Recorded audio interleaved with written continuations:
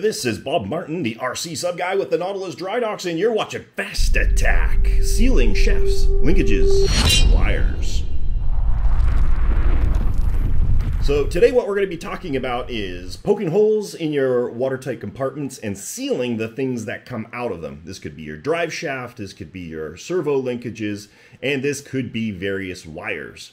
This is a quick and dirty way of doing it, works really good. So in this particular case, we're gonna be wanting to have this 1 8 stainless steel drive shaft coming out of this mocked up uh, wall of our watertight cylinder. What you're gonna need is uh, a bushing that will go around the outside, and you want it to be a fairly tight tolerance fit. So in this particular case, this is a 5 second sleeve on a 1 8 shaft.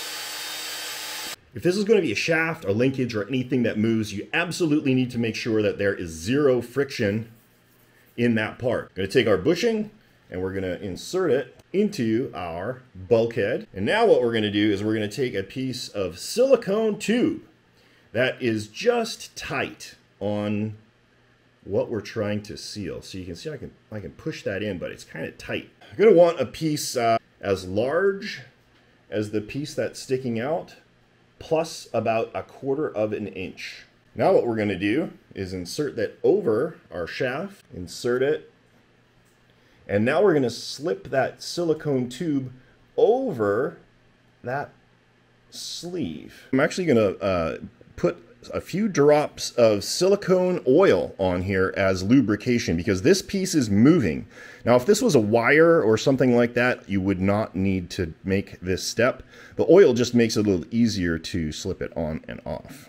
This moves exceptionally freely. As a final step, we're going to use a uh, zip tie and we're going to tighten it around the base of that little bushing right there. And this is what you're left with. And again, this would be what you would use for linkages or a drive shaft.